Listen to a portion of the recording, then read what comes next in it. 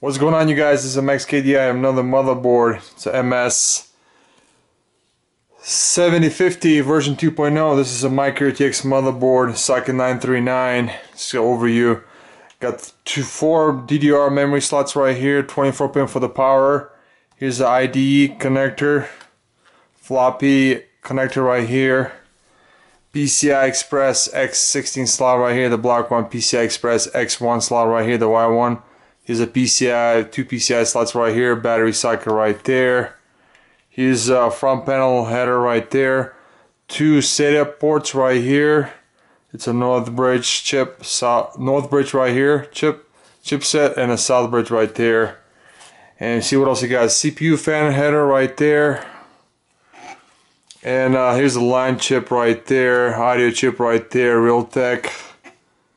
So it's a MS70 7050 version 2.0. Socket 939.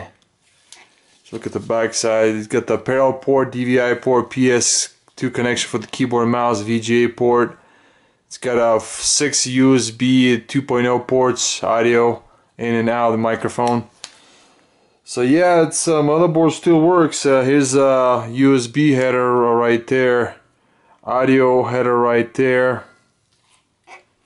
What else you got? Here's a clear CMOS right here. The little switch you gotta turn to the right, and then right here, just here's a little clear CMOS switch right there. It's gonna be. It's right by the uh, south chip right here, south bridge chip. It's right here in the bottom where the uh, USB header right there. That's what the clear CMOS is. So yeah guys, this is a Micro ATX motherboard. Again, again, my MS 7050. It's a Micro Star. Looks like Focus Micro Star motherboard installed in a look like a HP. It's OEM. Making a quick video. And here's a chassis fan header right there. Right by, and here's a BIOS chip right there. It's a socket 939 again. Just making a quick video. And here's a 4 pin for the power right there. Missed that. So yeah guys, uh, this is the end of the video. Thanks for watching. Bye.